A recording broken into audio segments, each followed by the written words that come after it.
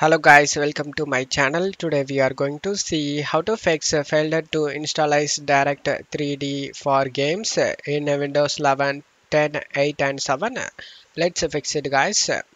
Method 1 is to update the DirectX version. First of all, you just need to go to search menu and type run. Click on open the run and type here dix dx diag and press enter select the yes option. And now you can able to see where DirectX version.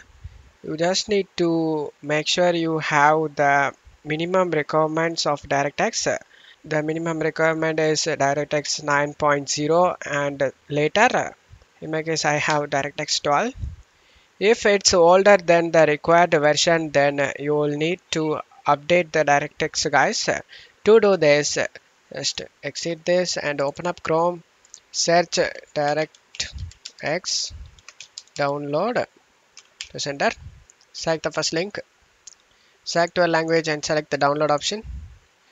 After getting download and install it after the installation done you can check if the problem solved or not. If not method 2 is to update your graphics card driver. To do this you just need to go to search menu and type device manager click on open it. You just need to expand the display adapter section. Under here you can able to see your graphics card model name. You just need to note down your graphics card model name. After that just to close stuff here. And open up chrome and type here your graphics card model brand name. Like in my case i have graphics card nvidia driver download press enter select the first link. And now you just need to select accept all and select your graphics card model over here. First geforce. And next the graphics card series. In my case i have a 5080 graphics card windows 11 language. And after selecting uh, your graphics card model over here select the find option. And now you will get the latest version of drivers over here as you can see this is the latest version. January 30 February 13 this is the latest one. Select the view option. Select the download option and download the latest driver. After getting download done you just need to install it. After the installation done you can check if the problem solved or not. If not method 3 is to repair visual C++ redistributables. To do this just need to go to search menu and type control panel.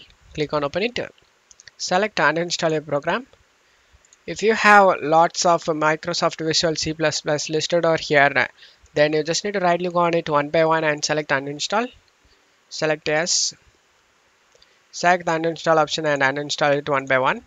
After uninstalling all the Microsoft Visual C++ listed over here just close stuff here and open up Chrome or browser. Just need to type here visual